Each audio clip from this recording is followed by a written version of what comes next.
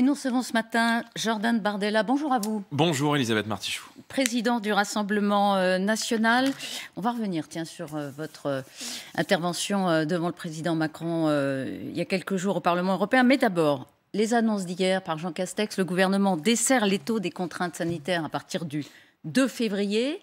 Belle, belle perspective, pardon, bonne décision bah, bonne décision dans la mesure où euh, il y a un certain nombre de restrictions qui étaient totalement inutiles, totalement absurdes. Et on a un peu le sentiment que le gouvernement cherchait à entretenir une forme de peur euh, où on a un peu de mal à comprendre finalement quelle est leur stratégie. Je veux dire, il y a 15 jours, on fait paraître des décrets pour interdire aux Français euh, de prendre un café debout dans les bars, on rétablit le port du masque en extérieur alors que toutes les études scientifiques qui ont été faites, y compris les études de l'Institut Pasteur sur le sujet, démontrent que le port du masque en extérieur est totalement inutile. Il y a eu très peu de clusters qui ont été détectés en extérieur pour finalement faire euh, exactement l'inverse 15 jours après, c'est-à-dire aujourd'hui, en euh, sortant un certain nombre de restrictions qui sont absurdes et en imposant l'une des restrictions les plus liberticides qui soit, qui n'a aucune efficacité sur la circulation de l'épidémie, qui est le pass euh, sanitaire qui devient le pass vaccinal. il y a quelques mois, lorsque on, mettait en garde sur euh, en tout cas la disproportion de liberté que représentait le pass sanitaire à partir du moment où les vaccins n'empêchaient pas la circulation de l'épidémie. Euh, euh, les médecins aujourd'hui des voix très officielles de la médecine, je pense au professeur Fontanet, au professeur Combe, le docteur Kirzek, qu'on voit régulièrement sur votre antenne, disent que le pass n'empêche pas, n'a pas d'impact sur la circulation de l'épidémie et que c'est plus une mesure politique et électoraliste qu'une mesure sanitaire. Ah, Donc il y a des restrictions qui sont inutiles, qui sont absurdes. Donc il faut protéger l'hôpital public, il faut arrêter de fermer des lits et euh, évidemment maintenant apprendre à vivre avec. Arnaud Fontanet n'a jamais dit que le pass sanitaire n'était pas efficace. Le professeur Combe a dit que c'était une mesure euh, électoraliste. Il était encore hier soir sur, le plateau et, de euh, lorsque nous on le disait il y a quelques mois, on nous disait on nous disait que c'était une, fake news, on nous disait que c'était totalement faux lorsqu'on le disait il y a quelques mois. Maintenant, toutes les voix de la médecine qui officient sur les plateaux télé le disent également. Pas toutes, non, non simplement pas toutes. Vous pouvez dire la plupart est professeur Com, en effet, par nos Fontanet, par Alain Fischer. Alors, si, si, euh, enfin, Alain Fischer, enfin, si vous voulez, tous les médecins aujourd'hui s'accordent à dire qu'on va devoir vivre durablement avec. On ne mhm. va pas pouvoir lutter contre l'épidémie à coup de rappels vaccinaux tous les trois mois. C'est même ce que dit maintenant l'Organisation mondiale de la santé. Et euh, euh, on s'aperçoit que le tout vaccinal a probablement été une erreur. Euh, moi, je vois qu'Israël, sur sa quatrième dose, préfère cibler parce qu'on connaît aujourd'hui les populations à risque. Donc, il faut protéger les populations euh, à risque. On mm. connaît les, les, publics qui sont à risque. On a une épidémie qui ne cible qu'une partie de la société. Que ça va mieux, Mais arrêtons d'embêter les jeunes, les enfants, par exemple, avec la vaccination qui n'a aucun intérêt. On voit par exemple que dans les services de réa, le nombre d'admissions commence à baisser. Pas les hospitalisations, mm. mais services de réanimation. Donc ça va mieux. Et ça va mieux pourquoi? Est-ce que ça n'est pas grâce à la vaccination? Le vaccin, il protège des formes graves.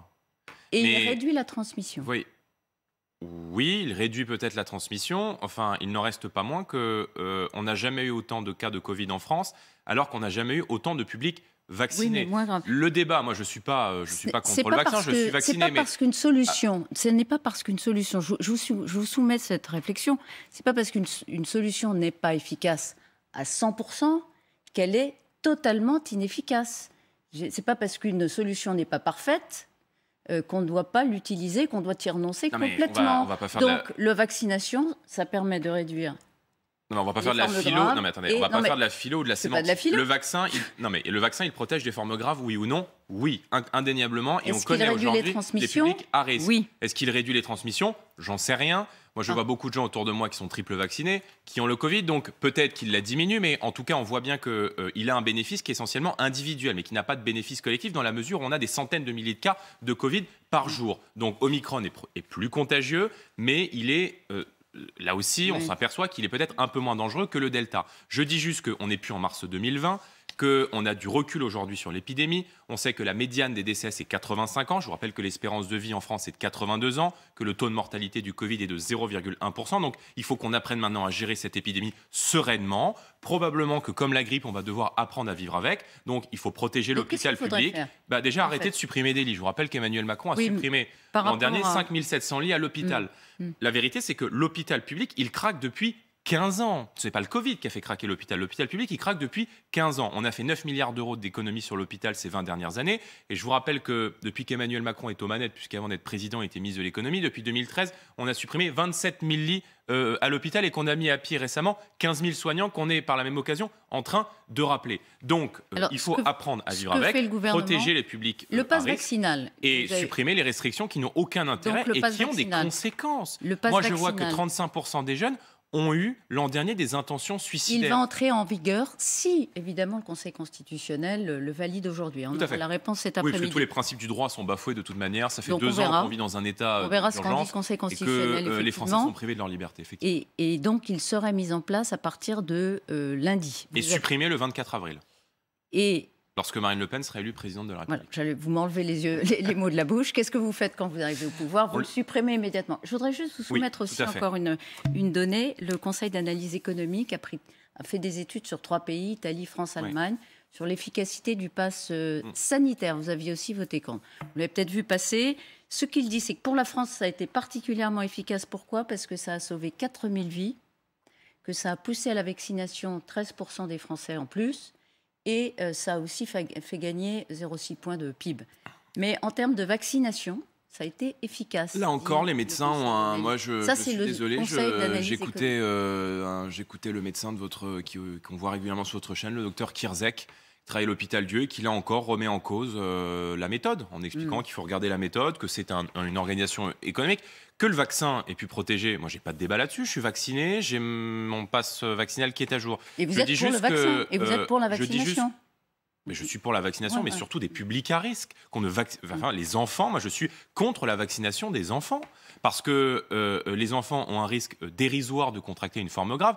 Il peut peut-être y avoir il y a certains. Quand même des enfants à l'hôpital. Il y en a, mais sur 67 millions d'habitants, on est sur des proportions qui sont infimes. Le nombre de morts entre 0 et 19 ans au mois de décembre, il est, euh, il est minime. Or, il peut y avoir aujourd'hui, parmi l'ensemble des restrictions qui sont prises, euh, des conséquences sur les enfants. On voit que l'ensemble des pédopsychiatres commencent à tirer la sonnette d'alarme. On voit des enfants arriver dans les services d'urgence euh, avec euh, des phobies scolaires, avec euh, des, formes d'angoisse, avec des conséquences qui pèsent aujourd'hui sur eux, comme le masque pour les enfants n'a aucun intérêt. Donc il faut retirer l'ensemble de ces restrictions qui ne servent encore une fois à rien, pourquoi gérer calmement et sereinement cette épidémie. Pourquoi Jean Castex est venu hier annoncer donc ces deux leviers, à la fois pousser la vaccination par le pass vaccinal et donner des perspectives en termes de contraintes?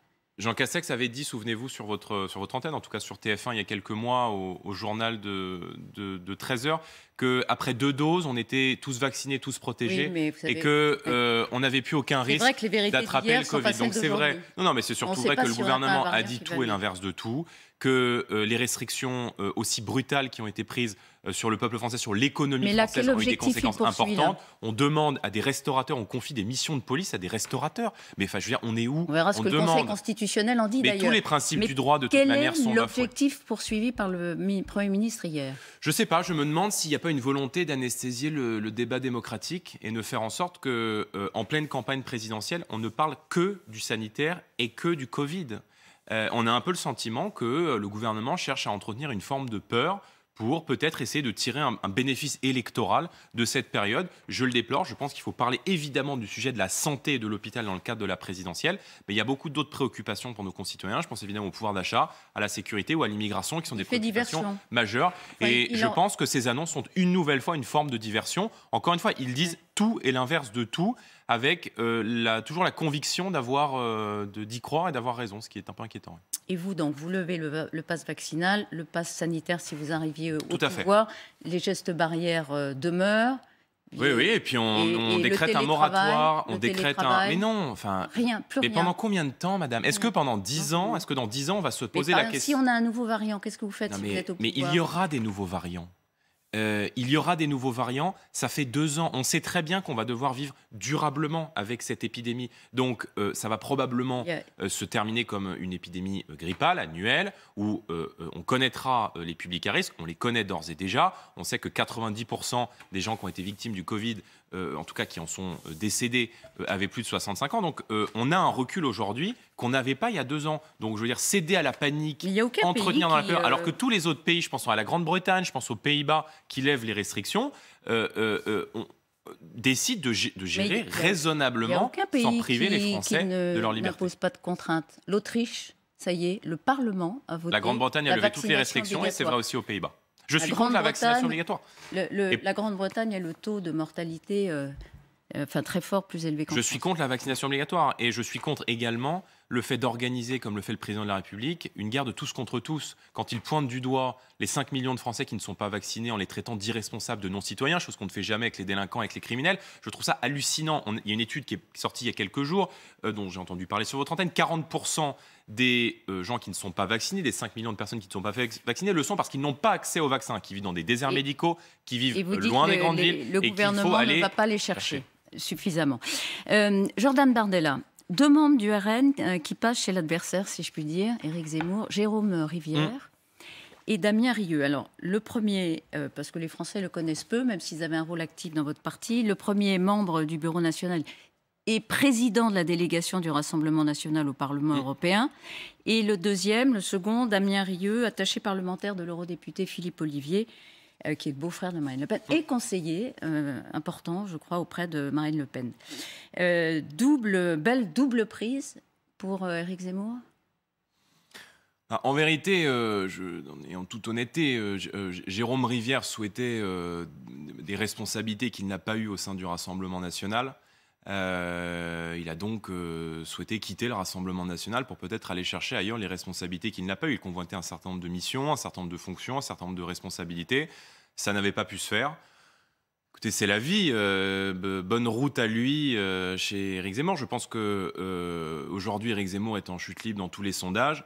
Et les Français s'aperçoivent que Marine Le Pen est aujourd'hui la seule candidate du camp national qui, d'abord, peut accéder au second tour, ce qui n'est pas le cas d'Éric Zemmour et surtout peut battre Emmanuel Macron. Je vous rappelle que dans tous les intentions de vote aujourd'hui, dans tous les sondages qui sont faits, la précaution qu'il faut, qu'il faut euh, évidemment avoir dessus, euh, euh, Marine Le Pen est donnée quasiment à égalité avec Emmanuel Macron. On est sur des 55-45, ce qui fait qu'avec les marges d'erreur, on est sur des intentions de vote qui sont très proches, ce qui veut dire que Marine Le Pen, elle peut gagner. Donc, si vous voulez, on n'est pas, nous, dans une démarche Précisément, de, témoignage. Mm. bon, maintenant, quant à Jérôme Rivière, la moindre des corrections et du respect qu'on doit à nos électeurs, c'est peut-être de rendre le mandat qui lui a été confié par les électeurs du Rassemblement national. De démissionner.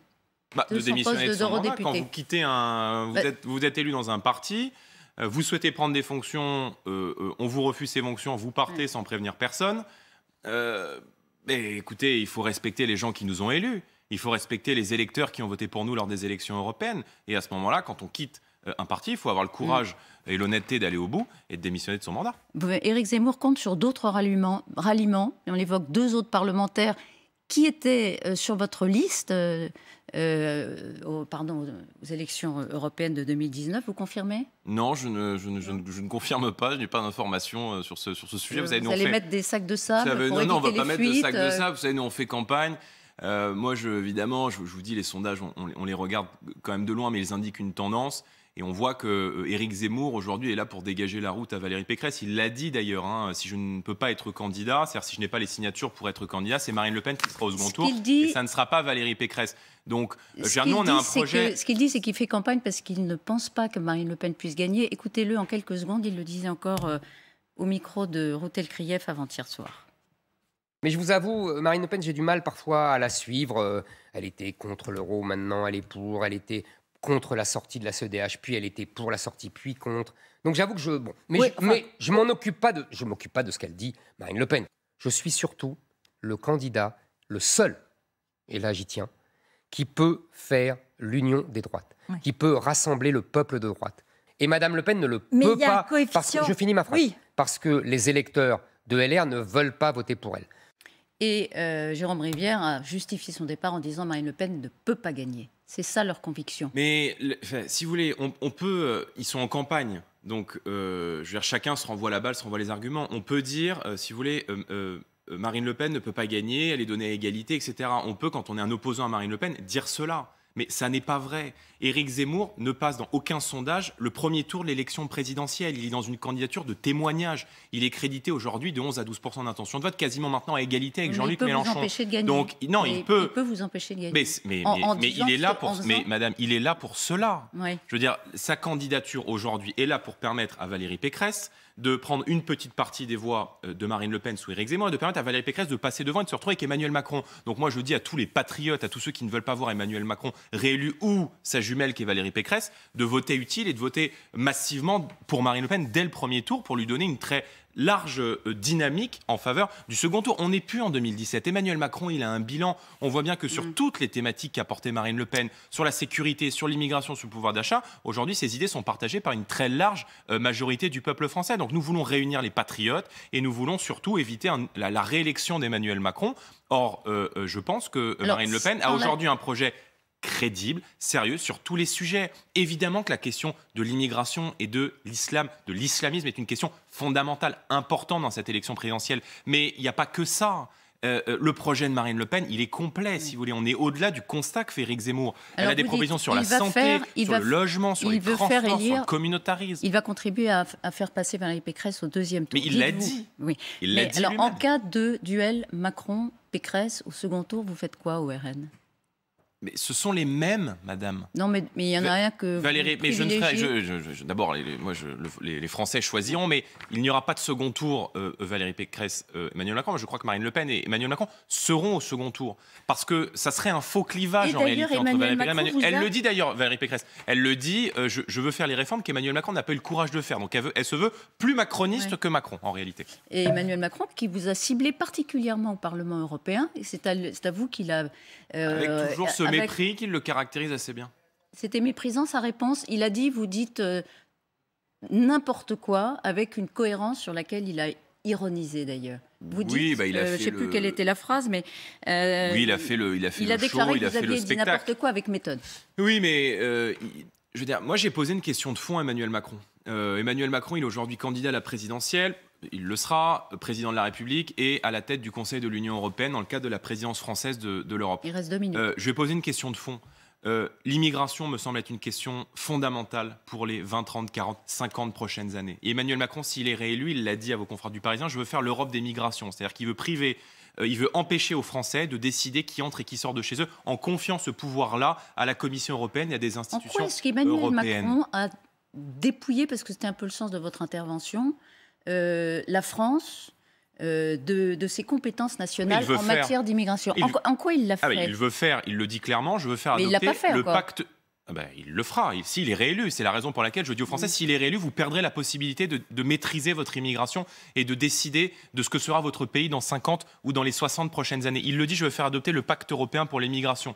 C'est un texte qui prévoit la relocalisation forcée qui prévoit de transférer les compétences euh, migratoires, en tout cas toute ou partie de ces compétences, vers, euh, vers la Commission européenne, vers des technocrates qui ne sont pas élus. Ça, c'est le projet d'Emmanuel Macron. Emmanuel Macron, il a transformé la France en, un, gigantesque hall de gare. Il en a fait l'hôtel de l'Afrique. Tout le monde peut venir. Euh, vous pouvez bénéficier de toutes les prestations sociales. Il favorise le grand basculement de la démographie française, comme vous l'aviez dit, approchant de la théorie du grand remplacement. Mais ce, ces changements de population, ils ont déjà lieu. Ils ont lieu dans tous les quartiers où moi j'ai grandi. Vous avez vu les chiffres de l'immigration, vous tenez le Figaro. Alors justement, euh, dans, votre tous les chiffres de l'immigration ont explosé sous Emmanuel Macron. Il y a une explosion des acquisitions de nationalité française, précise le Figaro, 79% en lien avec la facilitation des procédures pour les étrangers en première ligne, en première ligne, impliqués euh, de manière active dans la lutte contre le Covid-19. Est-ce que ces personnes-là, il n'aurait pas fallu leur donner la nationalité? D'abord, il, faut euh, il faut regarder dans le détail. Moi, ce que je regarde, c'est que nous accueillons 450 000 personnes chaque année dans notre pays. 262 euh, 000 titres de séjour. Pour conclure, 50 euh, 000 mineurs étrangers, 130 000 demandes d'asile, donc une très grande partie sont déboutés et ne sont pas euh, expulsés. Donc Emmanuel Macron, il aura été le président de la submersion migratoire. Et moi, je dis aux Français, cette politique d'immigration, elle peut s'arrêter. Si Marine Le Pen est élue dans quelques mois, elle fera voter un référendum sur l'immigration qui aura pour but de faire trancher cette question et de donner aux Français tous les, outils juridiques, politiques, administratifs pour arrêter cette submersion qui est en cours et instaurer dans le droit la priorité nationale, c'est-à-dire la priorité donnée aux Français dans l'accès à l'emploi et au logement. On aura l'occasion largement d'y revenir, puisque effectivement, ce sont des sujets peut-être structurants de la campagne. On verra. Merci beaucoup d'avoir été avec nous euh, ce matin euh, sur LCI Jordan Bardella. Bonne journée à vous.